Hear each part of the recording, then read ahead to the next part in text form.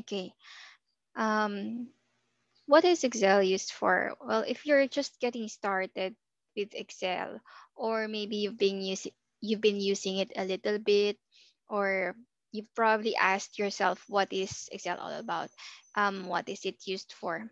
Well, one way really of looking at Excel is that it's just a very big uh, grid of columns and rows, but um, you're more likely to hear Excel described as a spread, spreadsheet package. Um, and that it really is. But really, it's a lot more than that as well, as uh, we'll see in some upcoming videos.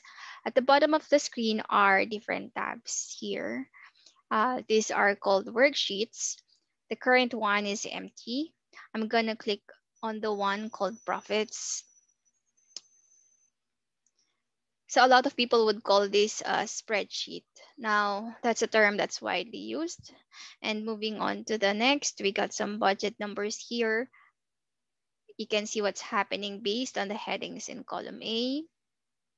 And um, here's a bigger budget. It's the prediction for the stated here. And you'll see all sorts of information in here. I've seen bigger ones than this, and you too will probably eventually see bigger ones as well. Other people uh, use Excel for keeping lists. Next sheet over um, shows the list of customers. Um, now this may be a long list and maybe hundreds, uh, even thousands of rows. Uh, you might be recording your inventory or might be tracking sales or transactions or all kinds of reasons for maintaining different these kinds of lists. So Excel really provides lots of great data management tools for handling them. Um, next list over is your uh, list of employees. It's got a feature applied that makes it um, easier to work with. The next sheet is what we labeled here as chart. And this tells us that in Excel, sometimes we find it a bit boring to see a long list of numbers. And on that note, we can turn them into a chart like this one. And that happens very quickly too.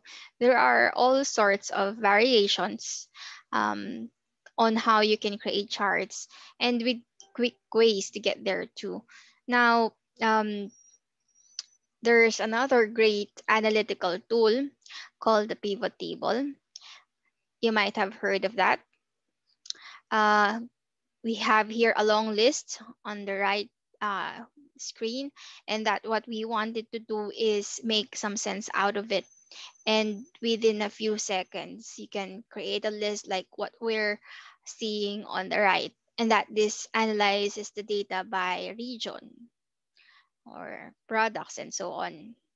Now, uh, notice on the those various column headings on the left, we can see how quickly we can come up with this. And really, you don't have to write any formulas at all.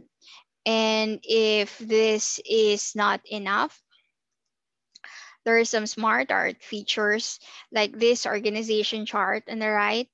So there are lots of different applications for Excel and that it is used throughout the world for a variety of different purposes or um, reasons. And it's probably the most widely used software package in the world. In the upcoming videos, you will learn more and more about how you can use Excel in so many different ways.